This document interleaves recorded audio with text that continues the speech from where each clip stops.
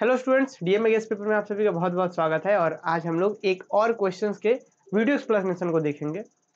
Question है student Maclaurin's theorem है ना? एग्ज़ाम में आते रहता है ये कभी कभी कि study and prove Maclaurin's theorem Maclaurin's theorem क्या कहता है भाई? कि किसी भी फ़ंक्शन को एक्सपेंड करने के लिए इन टर्म्स ऑफ़ कह सकते हैं कि असेंडिंग पावर ऑफ़ एक्स इस तरीके से किसी भी, जैसे मान लीजिए हम लोग जानते हैं कि e to the power X का एक्सपेंशन क्या होता है? जी one plus X plus X square by two plus X का power three by factorial three and so on तो ऐसे बहुत सारे फ़ंक्शन हैं जिसका एक्सपेंशन हम लोग करते हैं तो वो जो एक्सपेंशन होता है, इस मैग्लोरियस थ्योरम्स के मदद से होता है। और भी बहुत सारे रिज़ल्ट है टेलर्स वगैरह भी है, पर फ़िलहाल यहाँ पे हम बात कर रहे हैं मैक्लोरियंस थ्योरम मैक्लोरियंस थ्योरम का स्टेटमेंट क्या है, जरा समझते हैं ध्यान से।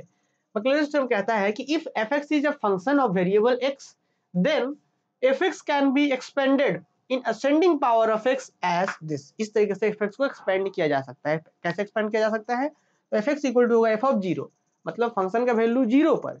प्लस एक्स का power one by factorial one और F dash zero F dash zero मतलब फ़ंक्शन का एक बार डिफरेंशिएशन ज़ीरो पॉइंट पर।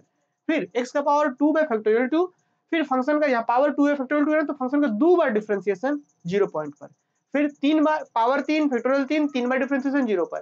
पावर चार फैक्टोरियल चार और फिर चार बार डिफरेंशिएशन ज़ीरो पर। इस तरीके से power N factorial N N बार डिफरेंशिएशन ज़ीरो पर, फिर प्लस डॉट डॉट डॉट ध्यान रहे एन के बाद भी इन्फिनिटी तक जाते रहता है ऐसे। तो this is the statement of Maclaurin's theorem कुछ नहीं है, इसको प्रूफ करने के लिए अलग अलग तरीके होते हैं अलग अलग से बुक्स में, लेकिन जो सबसे बेस्ट वे है प्रूफ करने का, वो हम यहाँ डिस्कस कर रहे हैं। प्रूफ क्या करेंगे स्टूडेंट प्रूफ करने के लिए हम मान के चलेंगे कि चलिए एफ़ का एक पॉसिबल एक्सपेंशन कुछ ऐसा है, हम लोग कंसिडर करते हैं। कि let F X equal to this अब ये हम क्या बोलना चाह रहे हैं? देखिए, किसी भी फ़ंक्शन को जब आप एक्सपेंड करते हैं तो एफ़ एक्स क्या होगा? शुरुआत में कुछ हो सकता है कांस्टेंट हो ए नॉट हो ए वन कुछ एक कांस्टेंट फिर प्लस एक्स क्योंकि बोला क्या गया था? कि एक्स के इंक्रीजिंग पावर में तो वही हमने करा कि एक्स का पावर यहाँ पे ज़ीरो है मतलब वन या एक्स का पावर वन समथिंग में कुछ तो होगा ए वन ए टू कुछ तो कोई भी तो कांस्टेंट तो होगा एक्स का पावर वन फिर एक्स का पावर टू यहाँ पे कुछ भी कांस्टेंट तो ज़रूर होगा. एक्स का पावर थ्री कुछ कांस्टेंट होगा तो यही कांस्टेंट का वैल्यू निकाल करके और ला करके यहाँ पे रख देंगे, आ जाएगा पूरा अपना एफएक्स का एक्सपेंशन तो फिर से सुनिए मैक्लेरेंस थ्योरम का प्रूफ करने के लिए आपको अलग अलग बुक्स में ना अलग अलग तरीके मिल सकते हैं, पर ये बेस्ट तरीका है जो लगभग बुक्स में कॉमन है ये। ऐसा ही दिया गया है। तो क्या एफ़ एक्स इक्वल टू हम ले लेंगे? Consider A nought plus A one X plus A two X square plus A three X cube plus A four X का पावर फोर भी एक और आप ले सकते हैं, उसके बाद डॉट डॉट कर दीजिए, एक और आप ले लीजिए। नेक्स्ट आ जाइए। आप चाहे तो चलिए, यहाँ पे हम आपके लिए एक और ले लेते हैं। ए फोर एक्स का power four plus dot dot dot आप चाहे तो यहाँ ले सकते हैं। नेक्स्ट आइए। अब now at X equal to zero क्योंकि मुझे क्वेश्चन में बोला गया एफ़ ऑफ़ ज़ीरो होता है तो एफ़ ऑफ़ ज़ीरो निकालिए। तो जब X equal to zero put करेंगे स्टूडेंट तो ध्यान दीजिए कि एफ़ एक्स में जब एक्स इक्वल टू ज़ीरो यहाँ पुट करेंगे, इसी में पुट करना है तो सभी जगह ज़ीरो पुट करेंगे यहाँ ज़ीरो ज़ीरो ज़ीरो सब खत्म हो जाएगा, सिर्फ़ बचेगा ए को। तो एफ़ ऑफ़ ज़ीरो का वैल्यू कितना आ जाएगा? ए नॉट आ जाएगा। तो एफ़ ऑफ़ ज़ीरो का वैल्यू कितना आएगा जी? तो एफ़ ऑफ़ ज़ीरो का वैल्यू आएगा ए नॉट तो वही हम लिखे F of zero A nought तो मतलब एक का वैल्यू आ चुका है अपने पास। नेक्स्ट आइए, अब हम क्या करना होता था? एक बार डिफ्रेंसिएशन करना है, किसको? इसी एफ़ एक्स को। एक बार डिफ्रेंसिएशन करते हैं। तो यहाँ एक बार डिफरेंस करते एफ़ डैश एक्स होगा। एफ़ डैश एक्स और इधर क्या हो जाएगी ए नॉट एक कांस्टेंट है तो उसका डिफरेंशिएशन ज़ीरो खत्म। फिर A one X A one X का डिफरेंशिएशन कितना होगा? सिर्फ़ ए वन होगा। एक्स का डिफरेंशिएशन वन हो गया ए वन कॉन्स्टेंट बाहर तो इसका होगा ए वन इसका कितना होगा? टू ए टू एक्स मतलब पावर आगे तो क्या टू एक्स हो जाएगा? तो फिर टू आगे का टू ए टू एक्स होगा।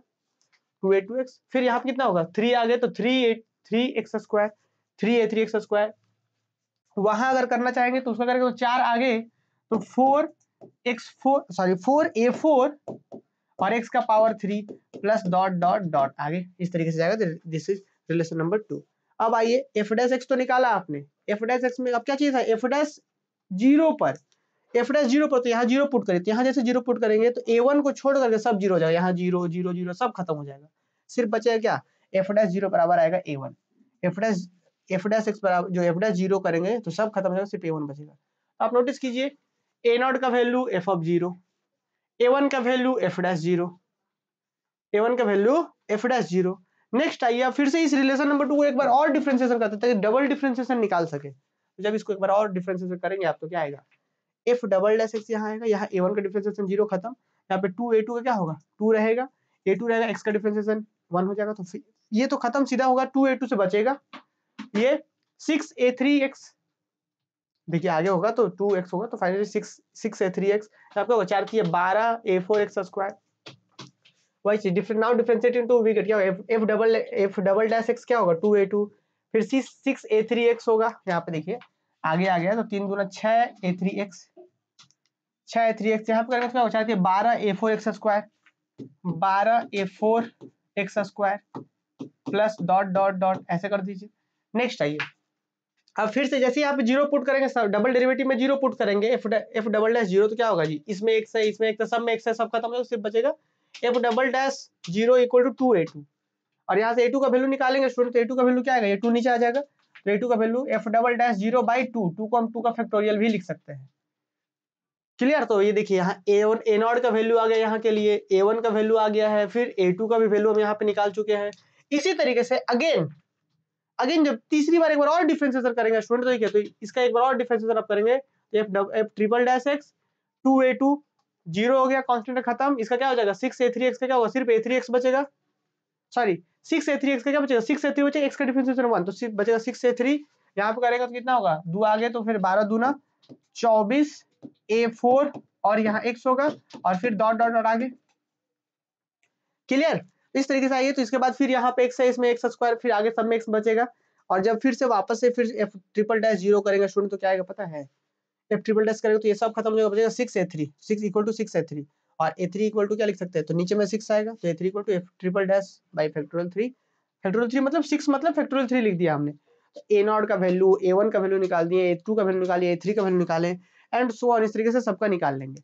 Now putting all these value in one we get अब वन में सबको पुट कर दिए ए नॉट का value f of zero a one का value f of f dash zero देखिए ए वन का value f dash zero a two का value f double dash zero by factorial two f double dash zero factorial two a three का value f triple dash by factorial three f triple dash zero by factorial three और फिर इस तरीके से हम put करेंगे तो मिलेगा f of x equal to क्या? Now putting all this value in one we get this hence proof यही तो मुझे प्रूफ करना था, है ना?